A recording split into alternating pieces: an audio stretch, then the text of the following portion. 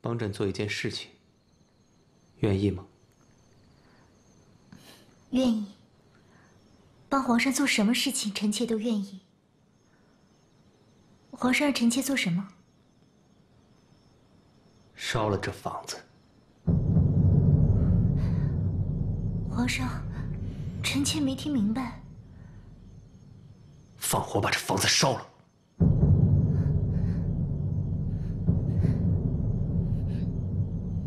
烧了这房子，朕就选你为皇后。怎么？你怕了？你不想做皇后了？皇上，您您怎么会知道的？知道什么？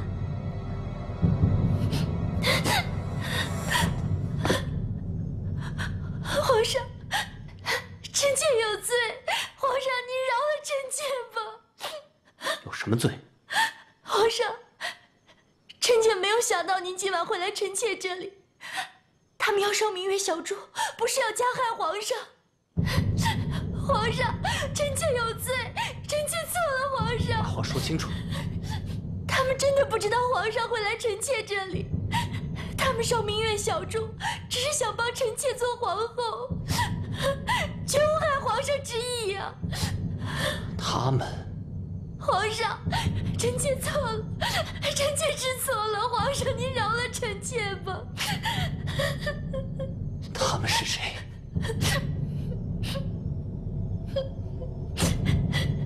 臣妾的弟弟。哪个弟弟？张子雍。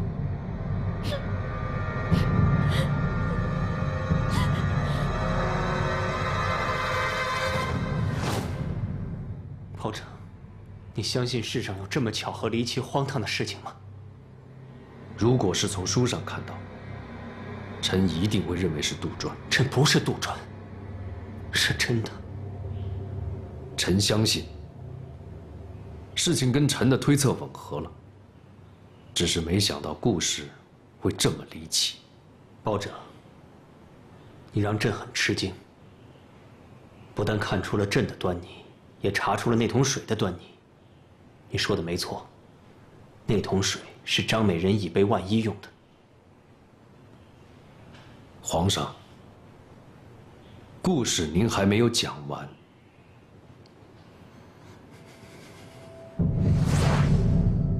皇上，这是臣妾进宫前，奴家的弟弟为帮臣妾做正宫想下的计策。臣妾说的句句都是实话，臣妾只想做皇后，绝无加害皇上之心。臣妾一时糊涂，臣妾知错了，皇上，您饶了臣妾吧。还有什么瞒着朕的？没有了，臣妾知道的都说了。张德林知道吗？我爹不知道，幼儿瞒了我爹。朕身边的蓉儿也是你家弟弟，他知道吗？说真话。不知道，怕节外生枝，蓉儿没有告诉他。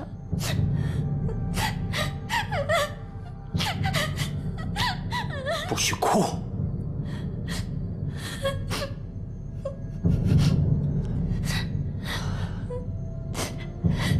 他们什么时候来烧房子？不知道。说是这几日，臣妾已经等了好几天了，天天晚上泡在水里，身子都快泡脱皮了。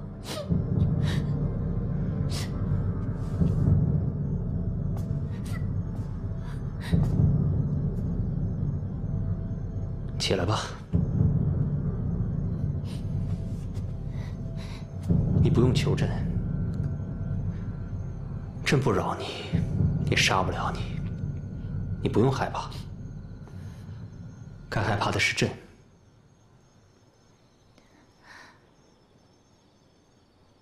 你不说，朕并不知道你们的事情。朕今晚来找你，是想让你帮朕放火的。皇上，臣妾听不明白。朕这个皇上，是聋子的耳朵，只是一个摆设。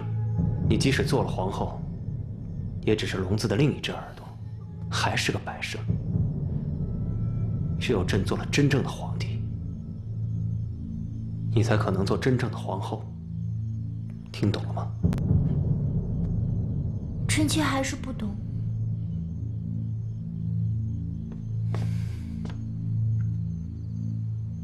你是朕的女人，就要和朕一条心。朕让你干什么，你就干什么。懂了吗？嗯，懂了。朕要做一个不是摆设的皇帝，你就要帮朕一起做。这件事不能告诉任何人，包括你爹。听懂了吗？嗯，懂了。朕原本想等那个张子雍来放火，可是张美人不知道他会不会来，什么时候来，只好自己放了火。朕从来没有放过火，没想到幔帐燃烧的那么快。朕想拉着张美人逃出屋里，没想到被反锁在屋内。朕就拉着张美人跳进了水桶，是那桶水救了朕。包拯，危险关头，你知道是谁救了朕吗？来放火的人，放火的人，反倒成了救朕的人。在危险之际，他们奉命救了朕和张美人。等朕可以当家做了主，不知是该惩罚他们，还是奖赏他们。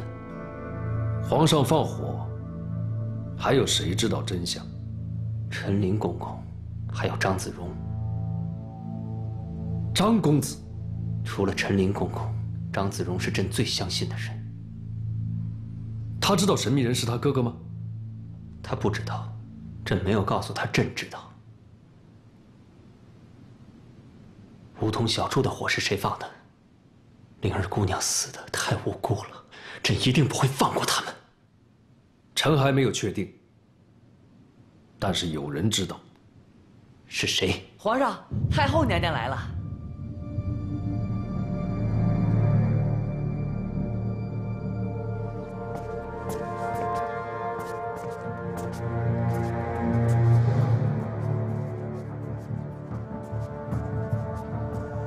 包拯，你怎么在皇上这儿？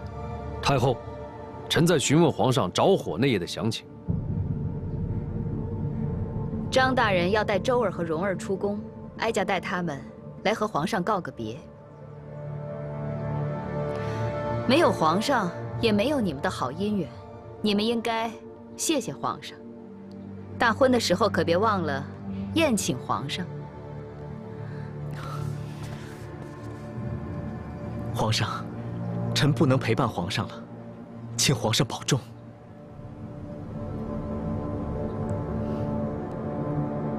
周儿，你就没有什么想说的吗？周儿，祝愿皇上安康。行了，你们都起来吧，你们的爹已经等急了。太后，臣有话讲。张公子跟周二姑娘现在不能出宫，为什么？他们是火案目击人，火案查清以前，他们不能离开皇宫。放肆！我带我的儿子回家，这跟火案有何关系？学生有疑惑，要询问他们。难道我的儿子也有嫌疑吗？真相水落石出以前，人人都有。蓉儿陪伴皇上十年，今天太后开恩放她回家，你却跑出来节外生枝，我是不是得得到你的同意啊？你信不信我现在就杀了你？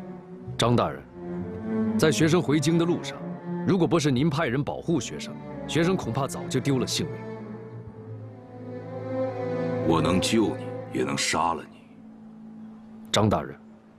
您是要学生的性命？还是要火案的真相？两个我都要，再给学生一两天，您都能得到。这一两日就能把案子查个水落石出吗？臣能。张大人，你看呢？我今天必须带蓉儿回家。这十年都等了一两日，你都等不及吗？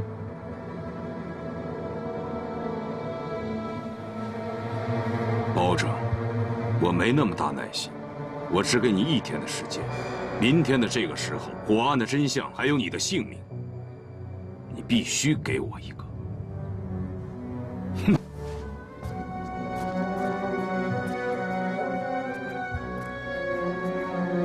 包拯，哀家也只给你一天的时间，真相和性命，哀家定要一个。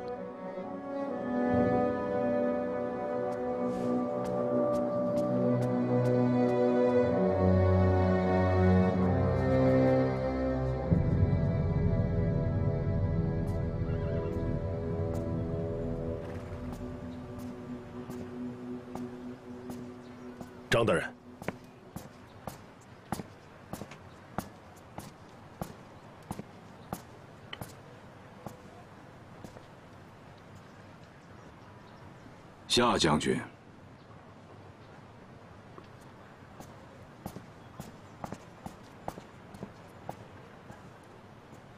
张大人，你的时间不多了。张大人，您什么意思？明天，包拯就会揭开真相。他都查出来了。明天你就知道了。你留着王守忠，也救不了你的命。他若供出你淫乱后宫的事情，你更是罪上加罪。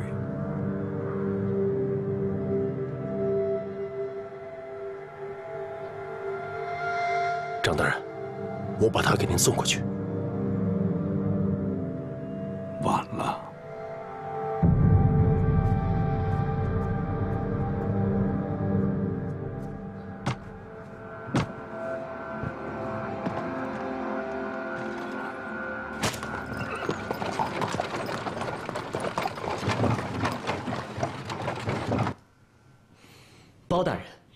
什么要询问我的，咱们出去说，不要打扰皇上。就在这儿说，朕也要听。包大人，我很想帮您，但您一定还是徒劳，因为我知道的都已经说了。周儿姑娘，你已经帮了我很多，谢谢你。包大人，我帮了你什么？你在私下查火案，并且查出梧桐小筑是被人泼油纵的火，被我发现之后又胡言乱语的搪塞我，你实际上就是在告诉我，你发现了端倪，却又不能说。包大人，什么乱七八糟的？到底是什么人干了什么事情，让你既要查清又要隐瞒？你进宫不久，在宫里，除了皇上和青女姑娘，你最熟悉的应该就是张公子了。因为着火那晚，你跟张公子在一起，正在商量怎么推掉太后强加给你们的婚约。张公子，那晚皇上被人救了之后，你去了哪儿？我他去找太医了，我让他去的。他刚走，太医就赶到了。他们走的不是一条路，你怎么知道？我问过他。为什么问他这个？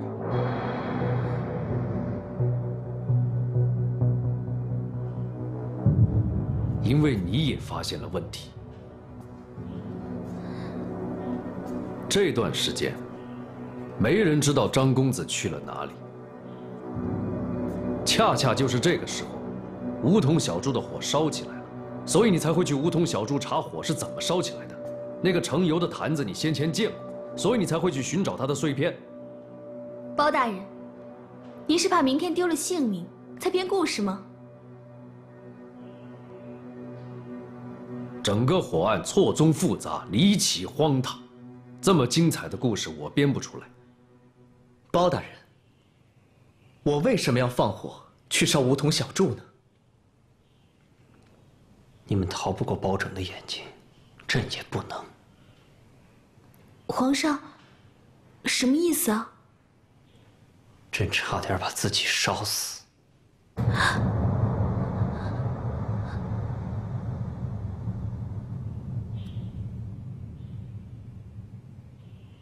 张子荣，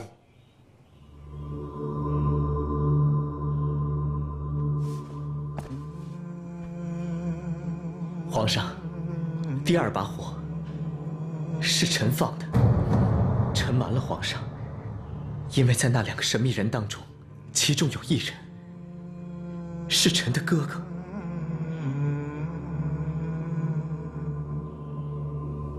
朕一点儿也不惊讶。朕早知道，你没察觉到朕一直在观察你，你为什么不告诉朕？因为臣的动机里藏着私心。臣若告诉了皇上，皇上还会信任臣吗？起来，不要给朕下跪。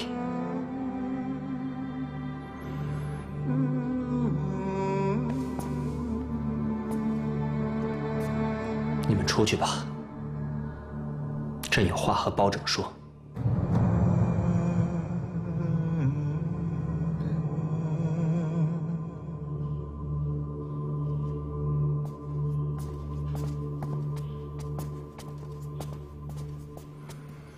包拯，现在已经水落石出，你性命无忧了，你打算怎么办？真相大白。将是灾难一场。包拯，你知道农家磨米的石头磨盘吗？臣推过。小时候帮嫂嫂磨米，现在朕就像石头磨盘上的米，石碾子往哪儿转，朕都会粉身碎骨。皇上，臣也在这碾子上了，该怎么做，臣需要时间好好想想。太后和张德林给你的时间不多了。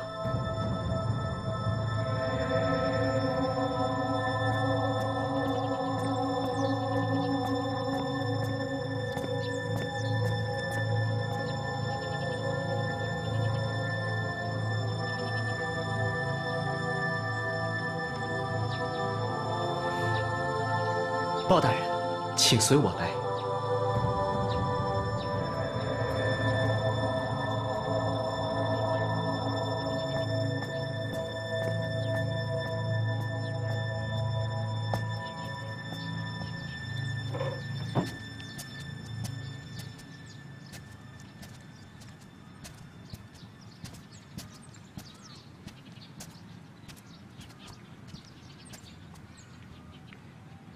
包大人，请。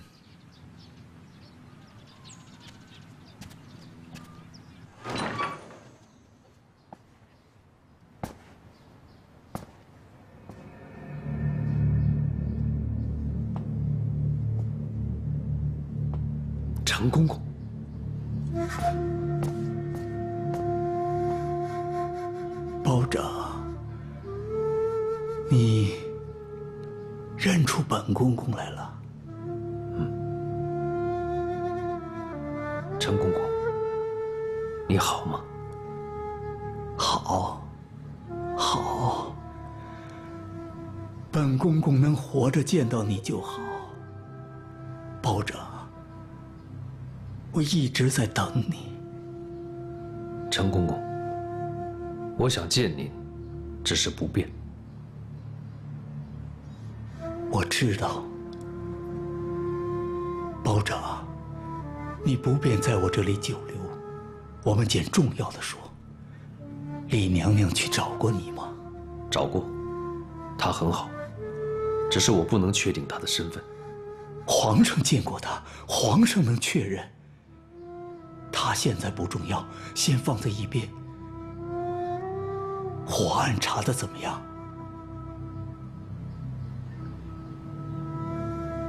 你都查到了哪些人？王守忠、张子雍、张子荣，还有皇上。你打算怎么办？让真相大白于天下。陈公公，皇上放火是谁出的主意？老奴才的。一定要这么做吗？那能用什么办法？就像你和范仲淹一样上书谏言。皇上归政本是光明正大的事，现在却成了阴谋。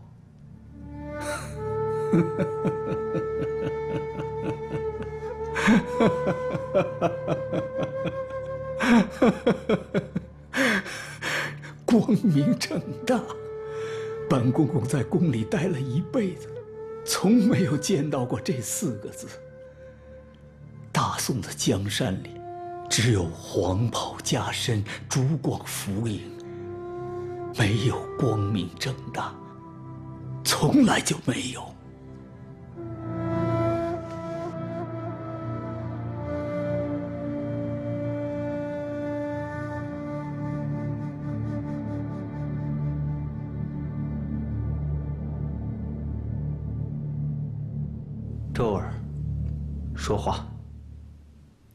知道该说什么。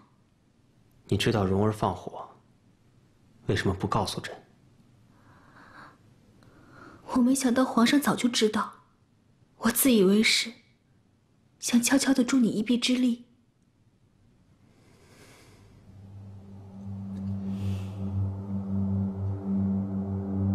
朕只能这样，等朕真正强大了，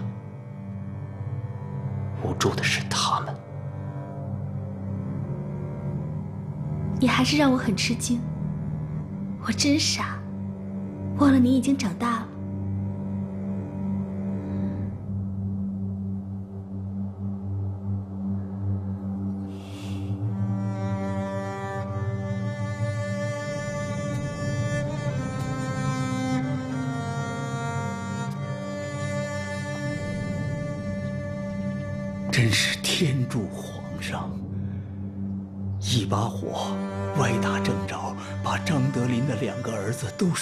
进来。现在是瓦解张德林和太后的最好时机。现在也是皇上最危险的关头。皇上已经迈出了这一步，只能往前走。皇上的安危，大宋的江山，现在都攥在了你的手上，怎么办？你想好了吗？唉，本公公苟延残喘，活不了几日了。今日一别，怕无相见之日。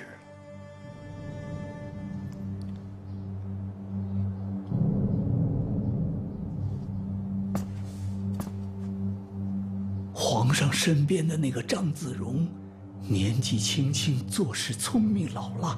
皇上想要成为皇上，他是最好的帮手。但是这个人，将来恐怕比他爹走得更远。嗯。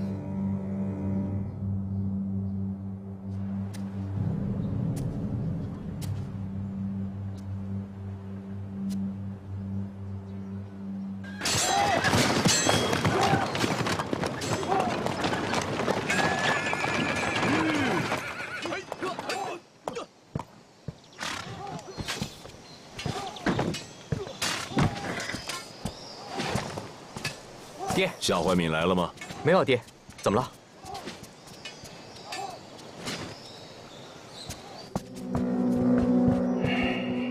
爹，什么事？爹当初真不该阻止你杀包拯。爹，怎么了？难道包拯查出我来了？比查出你还早。包拯开始查蓉儿了。他为什么要查蓉儿？你说为什么？王延龄的孙女刚死，是他亲手杀的。这件事情越来越无法收场了。是。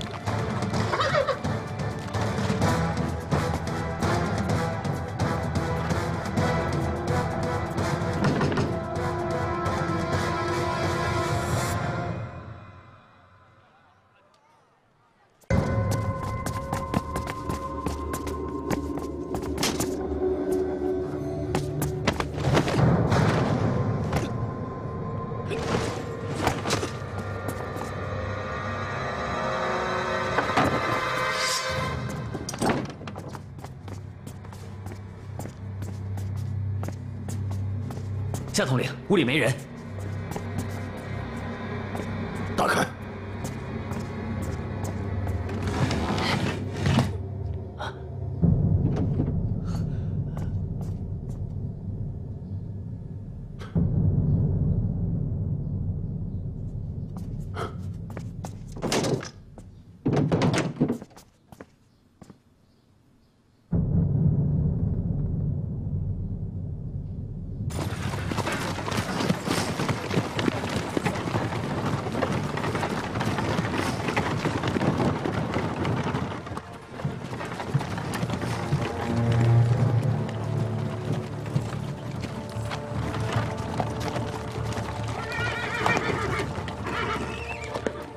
夏怀敏，你怎么拉着两口棺材来了？张大人，您自己去看一下。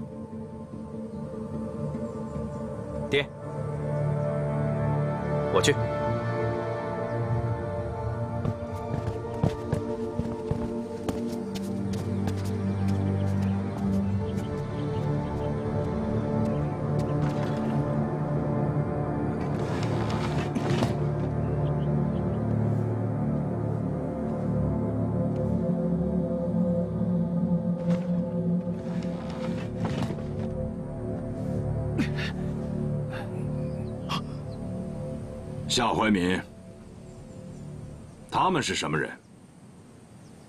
他们是看押王守忠的禁军兄弟。那王守忠呢？下官正想问您呢。夏怀民，你葫芦里到底装的什么药？躺在棺材里的，应该是王守忠。他现在人呢？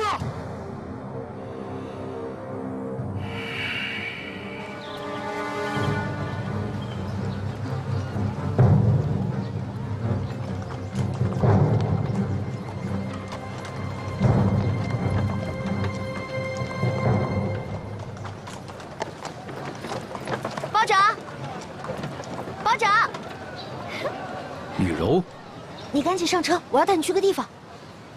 你要带我去哪儿？到那儿你就知道了，快上车。接着说。那人蒙着面，功夫十分了得，我们根本不是他对手。他把我们塞进了棺材里，把棺材里的王守忠给救走了。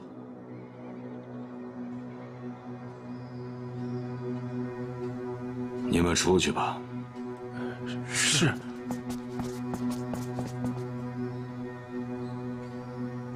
夏怀民，你是怀疑我抢走了王守忠？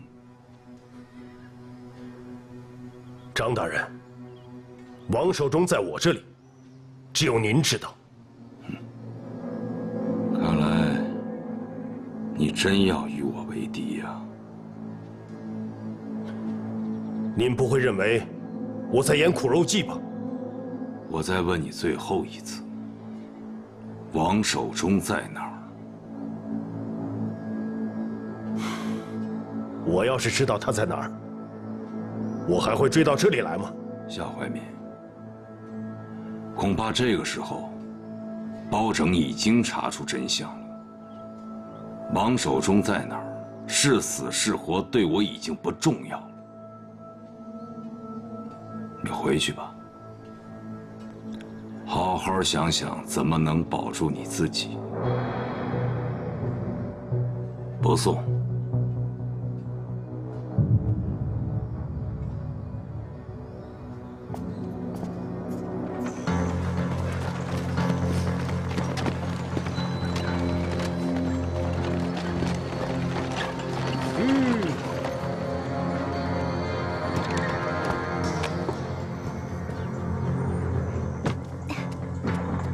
师傅，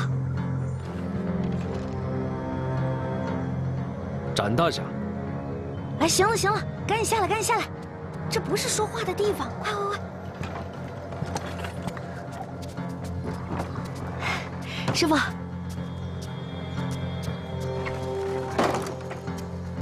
哎，师傅，东西呢？到手了吗？到手了，哪里找到的？棺材里，死的。活的。在屋里。那在哪里啊？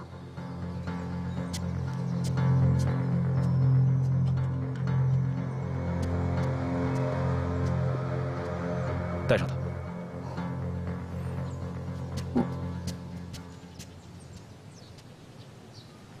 哎，等等，这个配你，你戴这个。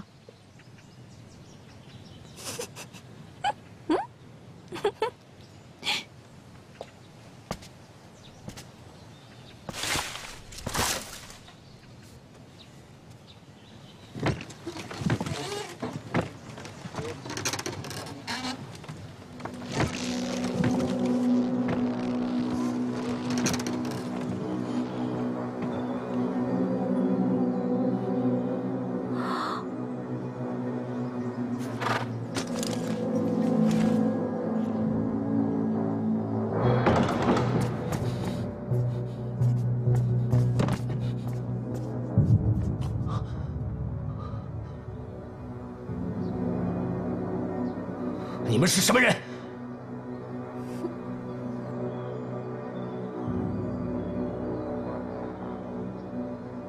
师傅，走。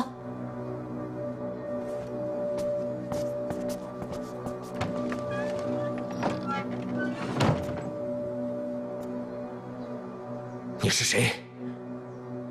你到底是什么人？夏怀敏的人？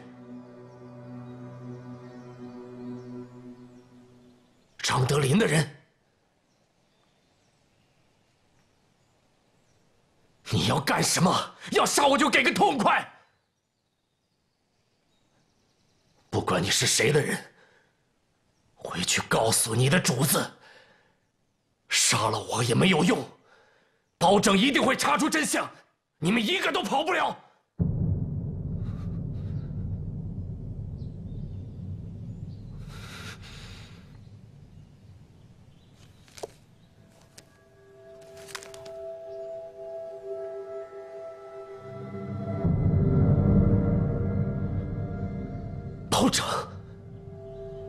是你？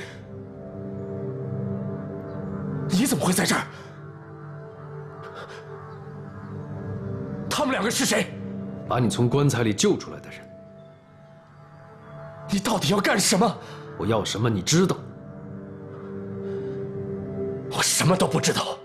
你是愿意待在棺材里边，还是愿意待在井里？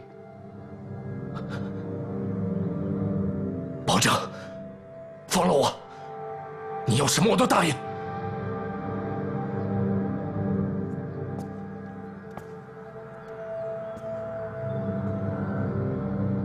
我要真相。保证，听我一句劝告，你不是在查案，是在找死。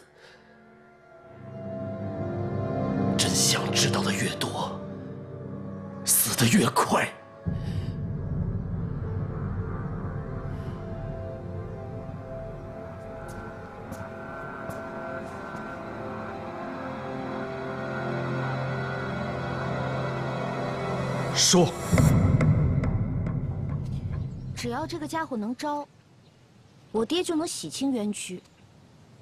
师傅，您说他能招吗？不受皮肉之苦，不会。再给包拯点时间，他会有办法的。那也是白费力气。我去让他开口。哎，别去！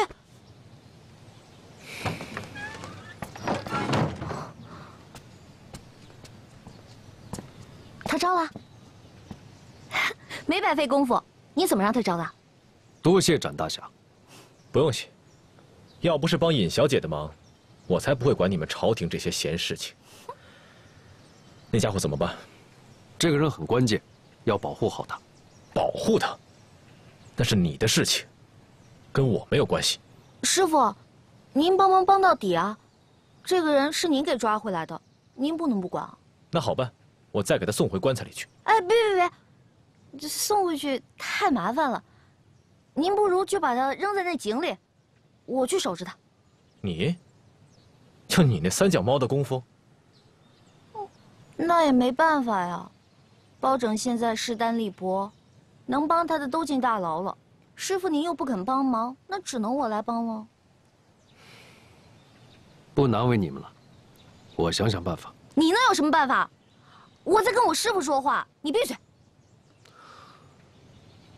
师傅，嗯。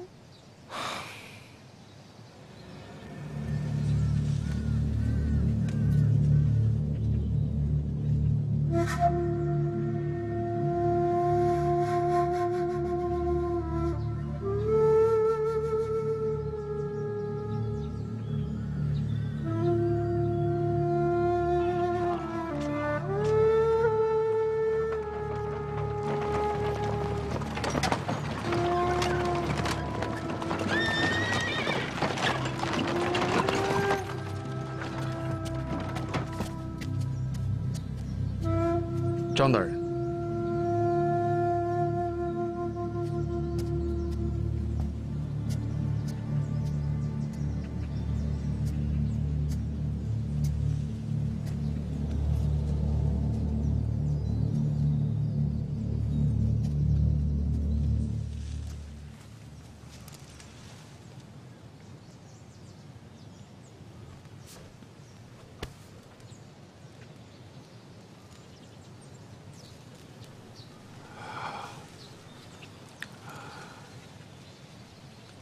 儿的坟几天前就修好了，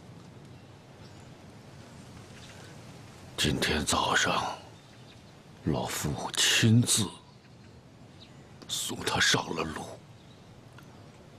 王大人，换了我也会这么做。明天你就知道谁放的火了。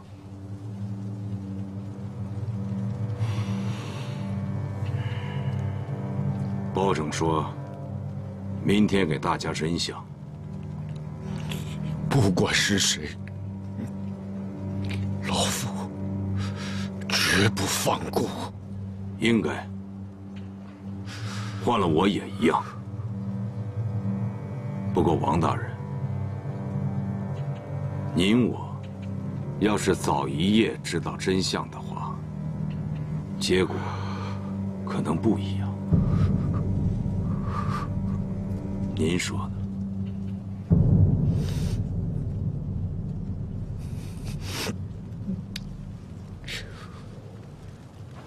你有心事？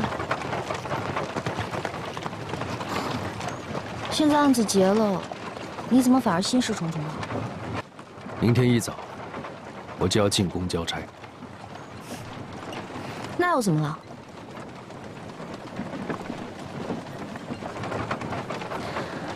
你不说我也知道，你现在是进退两难了。你憎恨说假话，可是明天进宫，你又不能说出真话来。你怎么知道？就好像当年你明明喜欢的是我，可是又必须娶端午为妻，也是像现在这样进退两难啊。你忘了？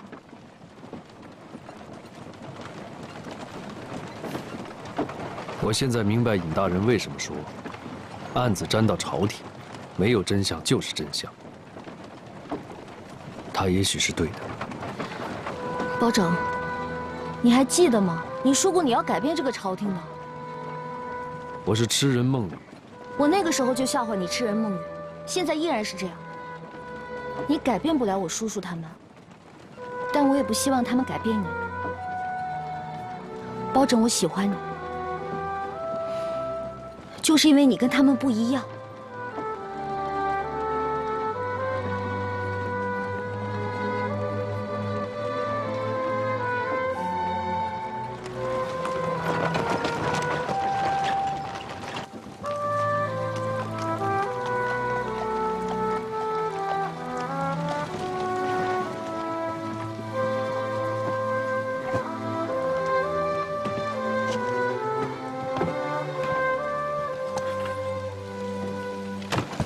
包拯，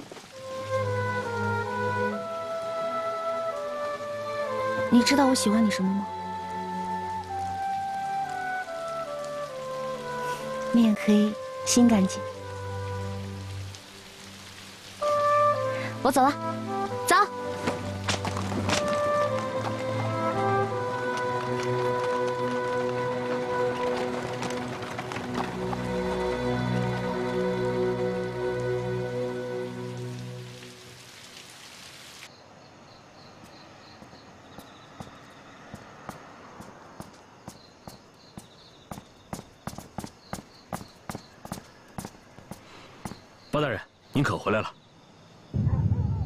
什么事情？请随我来。